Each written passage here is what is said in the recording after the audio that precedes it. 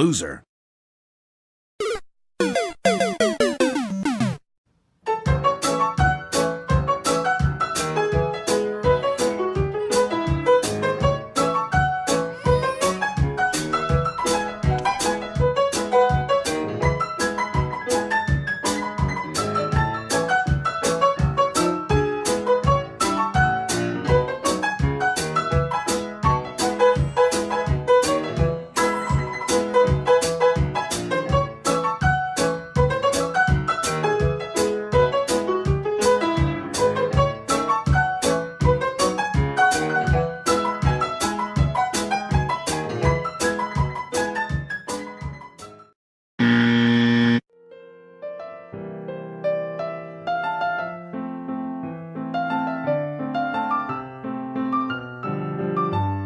Snovi se uvijek ostvaruju, ako u njih dovoljno vjerujemo.